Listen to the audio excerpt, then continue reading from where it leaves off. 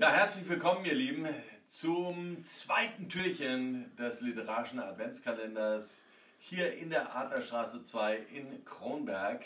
Ein Projekt der Jugendkoordination Kronberg, dieser neuen innovativen Form von Jugendarbeit, bei der es darum geht, ähm, die positive Energie, die in Jugendlichen lodert, wahrzunehmen, sie zu sammeln und ihnen Möglichkeiten zu schaffen, diese Energie positiv zu für diese Stadt ähm, herauszubringen.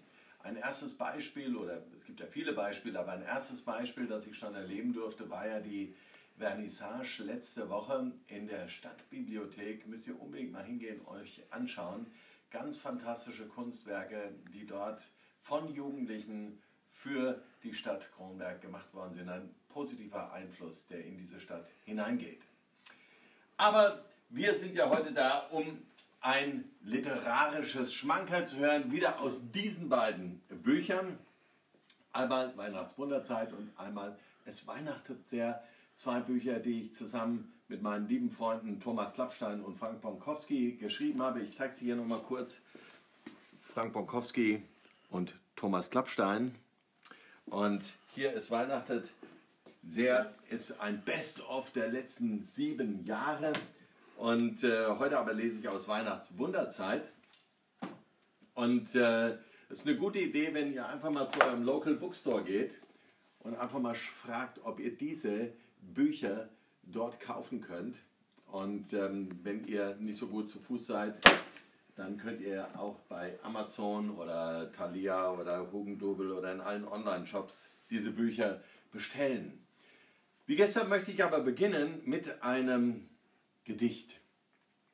Und zwar ein Gedicht von Ulrich Schaffer aus seinem Buch Neues umarmen, in dem einige Gedichte drinstehen, die mir äh, buchstäblich das Leben gerettet haben, als ich vor langer, langer Zeit ähm, in der Mitte der 80er Jahre ähm, hier in der Nähe in der Klinik Hohe Mark sechs Monate ähm, wegen schwerer Depressionen als Patient war. Und er schreibt ein Gedicht über die Adventszeit und über die Hektik und den Stress in der Adventszeit. Und ähm, er sagt, du hast eine Arbeit, dein Lohn reicht aus, um dir die meisten Wünsche zu erfüllen.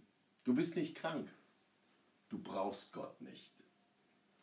Warum stehst du dann manchmal am Fenster und versinkst in der weiten Landschaft? Deine Freundin verlässt dich nicht, mit deinen Eltern kommst du gut aus. Dein Urlaub ist vorbereitet, deine Freunde mögen dich. Du brauchst Gott nicht. Warum kennst du dann das Gefühl des Suchens ohne Ziel und Weg? Kennst du den Wunsch, für den es keine Worte gibt? Leben, Erfüllung, Freiheit, Sinn sind die Worte, die dir kommen, aber keins trifft, was du suchst? Oder hast du alle Wünsche, Träume und Hoffnungen zurückgenommen, weil du nichts gefunden hast? Oder kann es sein, dass es noch mehr gibt? Und wenn das wirklich sein kann, dass es noch mehr gibt, dass du umarmen könntest, dann ist jetzt, glaube ich, genau die richtige Zeit dafür, es zu suchen. Nämlich Adventszeit ist die Zeit des Suchens. Advent heißt Ankunft. Das heißt, etwas Gutes kommt in deinem und meinem Leben an und du kannst dich auf die Suche machen in diesen 24 Tagen bis Weihnachten. Dafür ist Adventszeit gedacht und wir wollen hier von der Jugendkoordination Kronberg gerne mit dir zusammen ein paar Gedankenimpulse teilen, um dich vielleicht aufmerksam zu machen auf das eine oder andere, das in deinem Leben vielleicht schon vorhanden ist, aber du es noch nicht genau siehst. So, und heute lese ich aus gegebenem Anlass eine besondere Weihnachtsgeschichte, denn äh, wie der eine oder andere vielleicht mitbekommen hat, hat der Busstreik, der Streik der Busfahrer in Hessen heute aufgehört. Und ich bin einmal auf der Suche nach Weihnachtswundern äh, durch die Gegend gefahren, bin hier im Bus gefahren äh, zwischen Kronberg und Steinbach hin und her und habe viele Geschichten über diese Busse gehört, über die Busfahrer und was Jugendliche dort in den Bussen erleben.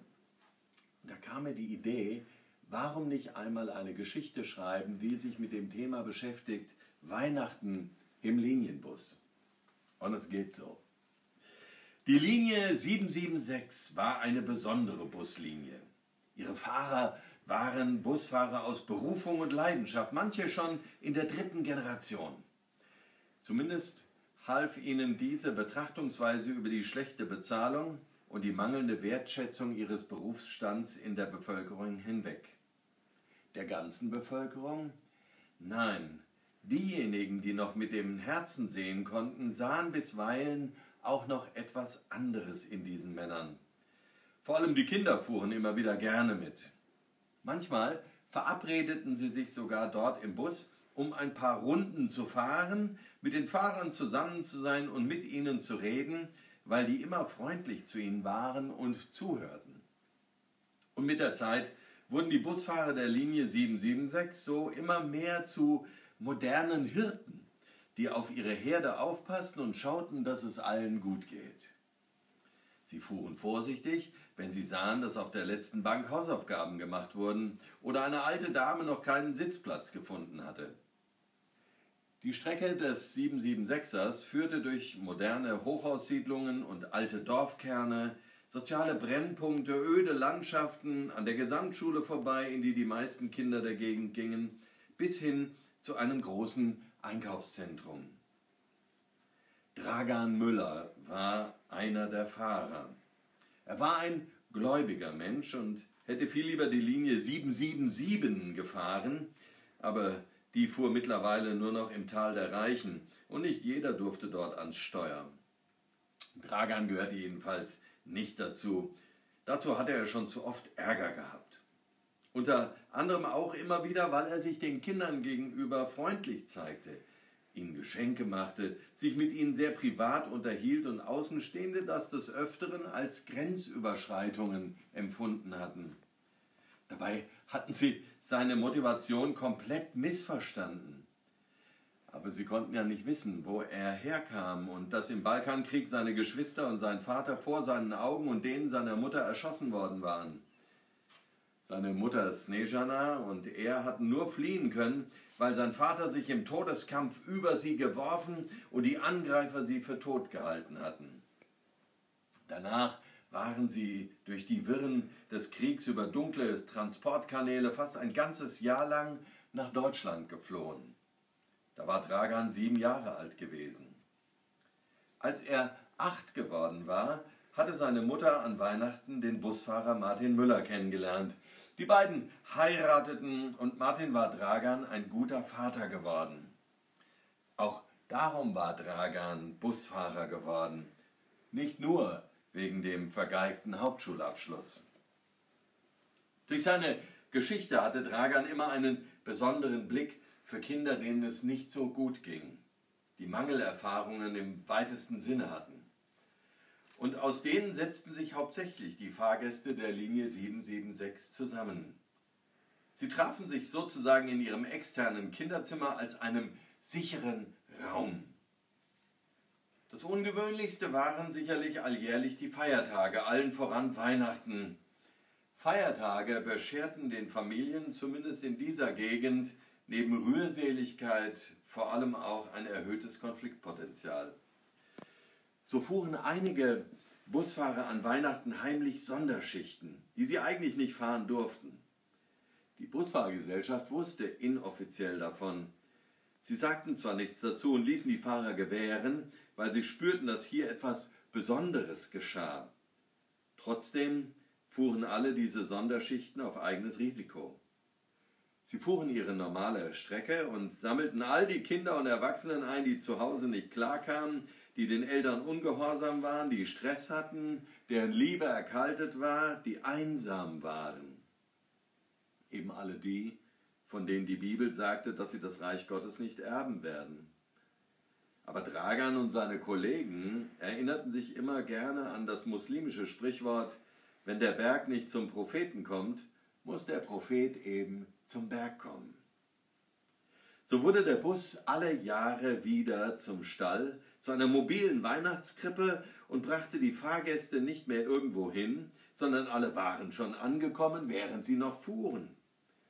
Auf dem Armaturenbrett stand ein kleiner Weihnachtsbaum aus Plastik, der bunte Botschaften des Lichts lustig in die Nacht blinkte. An die Seitenfenster hatten die Fahrgäste selbstgebastelte Strohsterne, Lametta, goldene Heiligenbildchen und alles andere geklebt, das sie mitgebracht hatten. In den Halteschlaufen für die Stehplätze hingen über den Fahrgastraum verteilt Wunderduftbäumchen in den Duftnoten Tannenbaum, Weihrauch und Myrrhe. Zusammen mit den von diversen Buffets gestohlenen Plätzchen und Kuchenstücken ergab das eine seltsam wunderliche Weihnachtsstimmung. Alle waren sie da, die üblichen Fahrgäste, und feierten miteinander ausgelassen und sangen fröhlich das einzige Weihnachtslied, das sie aus den Supermärkten und dem Radio kannten. O Tannenbaum, erste Strophe. Und an jeder Haltestelle stiegen noch mehr ein. Nur einmal, als an einer Haltestelle Hermann Hodes, der unter den Fahrgästen gefürchtete Leiter des Jugendamts einsteigen wollte, der schon viele Familien durch obskure Inobhutnahmen zerstört hatte, tat Dragan so, als habe er nichts gesehen und fuhr einfach weiter.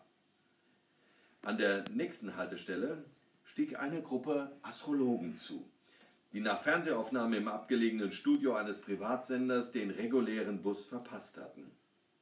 Sie waren sofort angetan von der feierlichen Atmosphäre im Bus und den Geschichten, die ihnen die Fahrgäste darüber erzählten. Und so ließen sie es sich nicht nehmen, auch ihrerseits von Träumen und Hoffnungen für die Menschen zu erzählen, die, wie sie sagten, in den Sternen standen. Kurz bevor sie wieder ausstiegen, mussten, brachten sie den Fahrgästen noch das beliebte Weihnachtslied von Alfred H. Zoller bei, Stern über Bethlehem, zeig uns den Weg, und wünschten allen noch viel Licht auf ihrem Weg durch die Dunkelheit. Und dann geschah es. Einfach so. An einer einsamen Haltestelle, an der eigentlich noch nie jemand zugestiegen war, stand plötzlich eine Gruppe Männer im Bus, als sei sie hineingebeamt worden.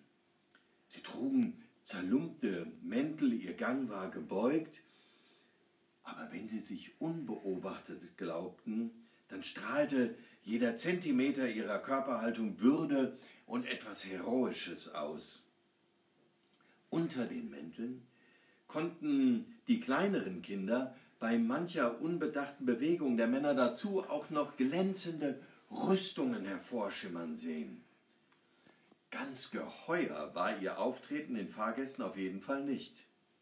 Die Situation rettend öffnete der größte der merkwürdigen Männer schließlich den Mund und sagte, Habt keine Angst. Auch wenn wir etwas gewöhnungsbedürftig aussehen, sind wir doch einfach nur unterwegs, um zu einem besonderen Gottesdienst einzuladen, der heute Nacht im alten ehemaligen Supermarkt stattfindet. Den Supermarkt, den kannten die Älteren der Fahrgäste noch. Er lag im Schatten dreier riesiger Hochhaussilos mit jeweils 120 Mietparteien und hatte vor ein paar Jahren pleite gemacht. Vor kurzem hatte dann eine freie christliche Gemeinde den Supermarkt gemietet und hielt nun dort ihre Gottesdienste ab. Damit es ein wenig mehr nach Kirche aussah, hatten dann die katholischen Pfadfinder des Orts kürzlich einen Holzglockenturm auf dem Dach des Supermarkts errichtet. Im Weihnachtsgottesdienst der Gemeinde sollte heute Nacht ein Ehepaar davon berichten, dass sie heute Vormittag ein Kind bekommen hatten. Das Ehepaar, Traugott und Maria Josefsson, kannten sie auch alle. Seit 13 Jahren versuchten die schon ein Kind zu bekommen, aber außer Fehlgeburten und einem Haufen Schulden wegen teurer, aber nutzloser Befruchtungsmethoden war nichts geschehen.